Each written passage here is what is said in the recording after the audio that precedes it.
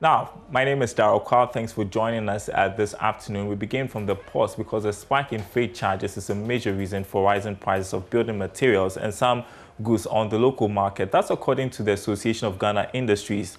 Parliament has already commenced investigations into the issue, whilst the Council of State has also been engaging businesses to find some solutions to this challenge. Now, speaking on PM Express Business Edition, Chief Executive of the Association of Ghana Industry, Seth Twum-Akwaboah, said some intervention from government is necessary to deal with the situation.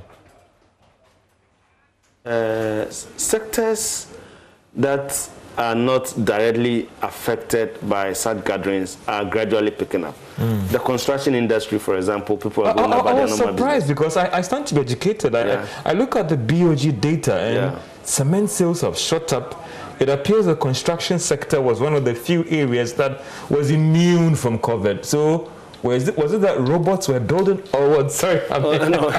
construction sector wasn't immune from COVID at all. But because during the COVID period, construction really went down. Okay. But I think part of the reason why the data is also showing so is because the prices of cement has gone up. Mm. So when you see the volumes uh, and you are looking at it in terms of the turnover, mm. naturally it will go up.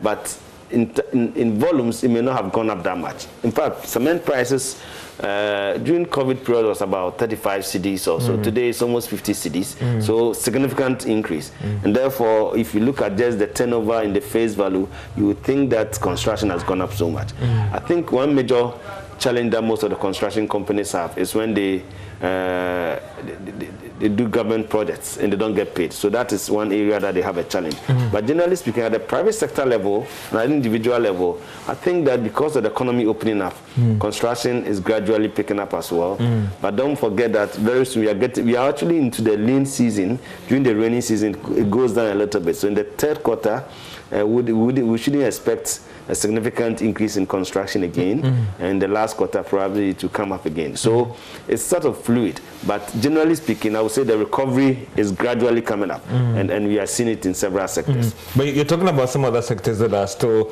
uh, struggling. Hospitality is expected because the demand often was coming from outside.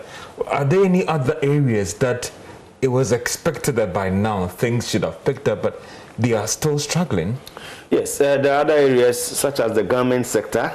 Uh, one would have expected that that has nothing to do with you know, uh, people coming to the country. You're, you're wearing a clothes. Uh, whether COVID or no COVID, yes, we still have to dress we still up. have to dress up. But don't forget that when the events are not taking place, when the big okay. gatherings are not taking place, people are not buying new clothing and all that. You may not see, you see, there is the micro issues that impact at the macro level. Oh, okay. So at the micro level, at the individual level, when people are not buying so much, the, the global effect is that the demand generally will drop. A lot of people so are working from home. People are working from home, out. so you are not dressing that much. Mm -hmm. You know, in your beautiful suit, if you are not coming to the office, I'm sure you are home, you wouldn't be wearing this. So uh, all these are having effect to some extent.